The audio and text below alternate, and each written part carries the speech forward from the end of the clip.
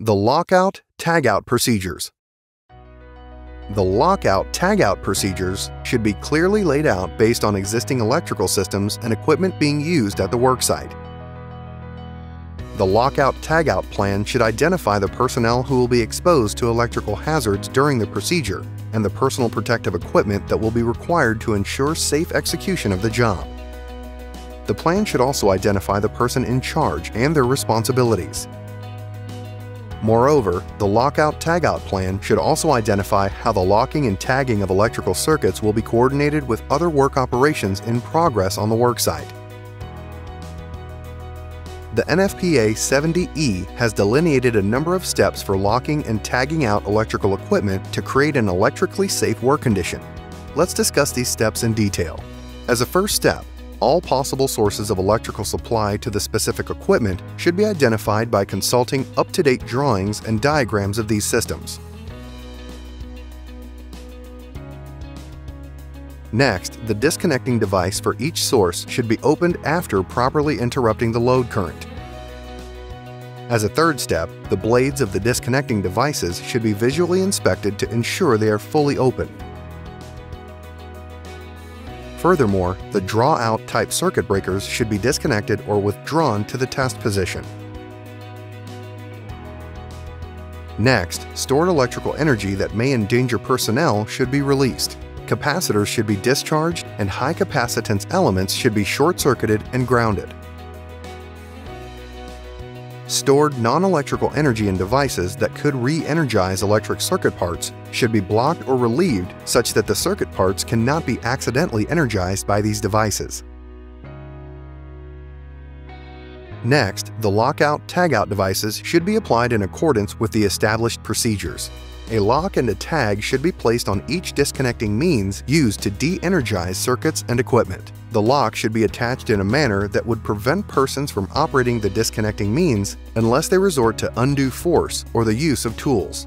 Each tag should prominently display a statement prohibiting unauthorized operation of disconnecting means and removal of the tag. If a lock cannot be applied, or if the employer can demonstrate that tagging procedures will provide a level of safety equivalent to that obtained by the use of a lock, a tag may be used without a lock.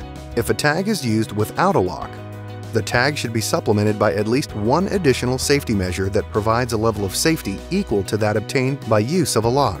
Such safety measures may include the removal of an isolating circuit element or blocking of a controlling switch. Before employees begin work on or near electrical equipment that has been locked out or tagged. Each phase conductor or circuit part should be tested to verify the absence of voltage. In order to ensure that the test instrument is operating satisfactorily, the instrument should be verified on a known voltage source. Finally, for the equipment and systems where the possibility of induced voltages or stored electrical energy still exists, all conductors and circuit parts should be grounded before employees begin work on or near them.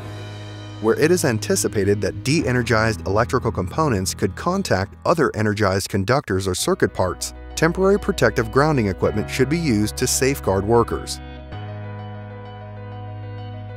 Once the repair or maintenance work on electrical circuits and equipment is complete, the electrical components must be re-energized. Before electrical circuits and equipment can be safely re-energized, Visual inspections and tests should be conducted to verify that all tools, electrical jumpers, shorts, grounds, and other similar devices have been removed. All personnel in the work area must be accounted for, and unauthorized persons should be warned to stay clear of these circuits and equipment. Each lock and tag should be removed by the employee who applied it or be removed under their direct supervision. If this employee is not present in the workplace, then the lock or tag may be removed by a qualified person designated to perform this task, provided that the employee who applied the lock or tag is informed of the removal of the lockout-tagout device before they resume work at the site. All lockout-tagout procedures should only be performed by a qualified employee or an authorized employee. For more information on lockout-tagout procedures, enroll in our Lockout-Tagout training course.